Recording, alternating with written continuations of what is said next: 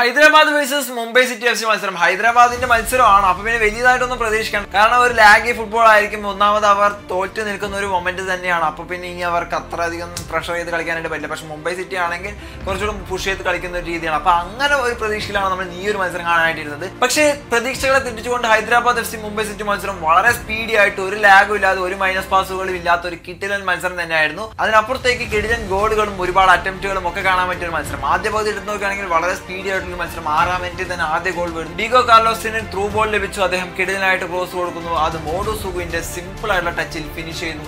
ആദ്യ ഗോൾ നേടുന്നു. ആറാം മിനിറ്റിൽ ആദ്യ ഗോൾ കമൽജീത് സിംഗ് വിട്ടതിന് ശേഷം അദ്ദേഹത്തിന്റെ കോൺഫിഡൻസ് നല്ല രീതിയിൽ കുറഞ്ഞതായിട്ട് നമുക്ക് ഫീൽ ചെയ്യുന്നുണ്ടായിരുന്നു. ആദ്യ പകുതിയിൽ ആ ഒറ്റ ഗോൾ ലീഡിലായിരുന്നു കളി അവസാനിച്ചത്. എന്നാലും ആദ്യ പകുതിയിൽ കുറച്ചുകൂടെ എടുത്തു പറയേണ്ട ഒരു മൊമെന്റ് എന്ന് പറയുന്നത് ആശിഷ് റായുടെ ഒറ്റയാൾ ഗോൾ ലൈൻ സേവ് എന്ന് പറയാം.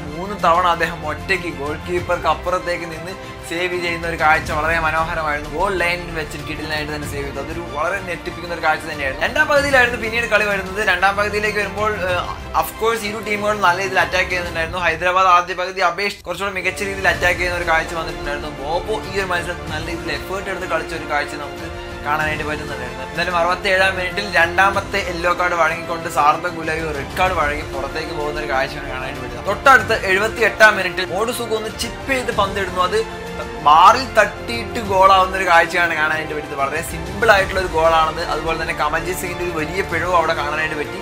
ആ ഒരു ഗോളിന് ശേഷം പിന്നീട് മുംബൈ നല്ല രീതിയിൽ ഡിഫൻസിലേക്ക് ഇറങ്ങുന്ന ഒരു കാഴ്ചയാണ് കാണാനായിട്ട് പറ്റുന്നത്. അതായത് അറ്റാക്ക് ചെയ്യാൻ അവർക്ക് ചെയ്യാൻ പറ്റുന്നില്ല. കാരണം ഒരു താരത്തിന്റെ കുറവുള്ളത് കൊണ്ട് തന്നെ അധികം റിസ്ക് എടുക്കാനായിട്ട് അവർ തീരുമാനിക്കുന്നില്ല. നല്ല രീതിയിൽ ഡിഫെൻഡ് ചെയ്ത് കളിക്കുന്ന ഒരു ടീമായിട്ട് മുംബൈ മാറുകയാണ് ചെയ്തത്. ഹൈദരാബാദ് ആണെങ്കിൽ ഇന്ന് ഭാഗ്യം എന്ന് പറയുന്ന ഒരു ഘടകം അവർക്കില്ല. ഈ ഒരു സീസണിൽ തന്നെ ഇല്ല. എന്നാലും ഇന്നും ഒരുപാട് ഇല്ലാത്തൊരു അവസ്ഥയാണ് വരുന്നത്. കാരണം മാർസലീനിയുടെ ഒരു ഷോട്ട് ബോബോയുടെ ഒരു ഷോട്ട് ഒക്കെ ബാറിൽ തട്ടിപ്പോകുന്ന ഒരു കാഴ്ച കാണാനായിട്ട് പറ്റി. എൺപത്തി ഒന്നാം മിനിറ്റിൽ ആശിഷ് റായുടെ ഒരു ക്രോസിൽ നിന്നും ബോബോ ഒന്ന് സിമ്പിൾ ആയിട്ട് തിരിഞ്ഞുകൊണ്ട് ഒരു ഫ്ലിക്കിംഗ് ഗോൾ നേടുന്നു. ആ ഒറ്റ ഗോൾ നേടിയപ്പോൾ രണ്ടേ ഒന്നിന് കളിയെ കൊണ്ടെത്തിക്കുന്നു. ബോബോയ്ക്ക് കോൺഫിഡൻസ് വരുന്നു. ഹൈദരാബാദിന് കോൺഫിഡൻസ് വരുന്നു. അറ്റാക്ക് സ്പീഡ് ആകാനായിട്ട് തുടങ്ങുന്നു. ഒരുപാട് അറ്റാക്കുകൾ വരുന്നു. അതിനുശേഷമുള്ള അറ്റാക്കുകൾ മുഴുവൻ ഹൈദരാബാദ് എഫ് സിയാണ് നടത്തുന്നത്. കിൽഗാല ഒരു ഗോൾ സ്കോർ ചെയ്യുന്നു. അത് ഓഫ് സൈഡ് ആണെന്ന് പറയുന്നു. മാർസലീനിന്റെ കിടിച്ച ഷോട്ടുകൾ വരും. റോബിൻ സിംഗ് ഒരു ഷോട്ട് അടിക്കുന്നു അത് ലക്ഷ്യത്തിൽ നിന്ന് അകന്നു പോകുന്ന കാഴ്ച. അങ്ങനെ ഒരുപാട് ക്ലീശ മൊമെന്റുകൾക്ക് ശേഷം അവസാന വിസിൽ മുഴങ്ങുന്നു രണ്ട് ഒന്നിന്. ഹൈദരാബാദിനെ പരാജയപ്പെടുത്തിക്കൊണ്ട് മുംബൈ സിറ്റി എഫ് സി നാലാം സ്ഥാനത്തേക്ക് ഫിനിഷ് ചെയ്യുന്ന ഒരു കാഴ്ചയാണ് നമുക്ക് കാണാനായിട്ട് പറ്റുക അപ്പോൾ നിങ്ങൾക്ക് ഈ വീഡിയോ ഇഷ്ടപ്പെട്ട് ലൈക്ക് ആൻഡ് ഷെയർ സബ്സ്ക്രൈബ് മറക്കരുത്. നിങ്ങളുടെ വലിയ അഭിപ്രായങ്ങൾ തിരിച്ചറിയാൻ കമന്റ് ചെയ്യാൻ മറക്കരുത്. മറ്റൊരു മറ്റൊരു സമയം കണ്ടുകൊണ്ടിരിക്കും